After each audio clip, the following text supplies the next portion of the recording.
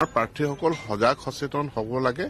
কোনেও টেটৰ নম্বৰ বঢ়াই দিব নোৱাৰে কোনেও টেটত পাছ কৰাই দিব নোৱাৰে। গতিকে তেওঁলোকে যি পৰীক্ষা দিছে তাৰ ওপৰত আস্থা ৰাখি ধৈৰ্যৰে তেওঁলোকে পৰীক্ষাৰ ফলাফললৈ অপেক্ষা কৰিব? সোনকালে দিব সোন- সোনকালে। মই নিৰ্দিষ্ট কোনো তাৰিখ নাই আমাৰ কোনো ৱেবছাইট তেনেধৰণে শেষ হোৱা নাই। হয় ডিচেম্বৰ মাহতে।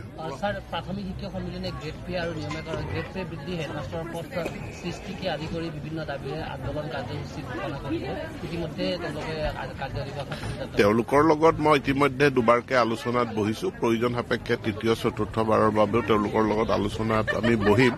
সমস্যাসমূহ সমাধান কৰাৰ কাৰণে আমাৰ প্ৰচেষ্টা অব্যাহত আছে। ভুকুতে কলটো নপকে প্ৰত্যেকটোৰ কাৰণে অলপ সময় লাগে গতিকে তেওঁলোকে উত্থাপন কৰা ন্যায্য সমস্যাখিনি সমাধান কৰাৰ কাৰণে আমি পদক্ষেপ লৈ আছো। বড়োলেণ্ড বিশ্ববিদ্যালয়ৰ উপাচাৰ্যক আহ, অপসাৰণৰ দাবীত ধাৰাবাহিকভাৱে আন্দোলন চলি আছে। এই ক্ষেত্ৰত কিন্তু শিক্ষা বিভাগ এতিয়ালৈকে কোনো নহয় আমি চব ইউনিভাৰ্চিটি এখন ইউনিভাৰ্চিটিৰ আইন এখনৰ অধীনত পৰিচালিত হয়।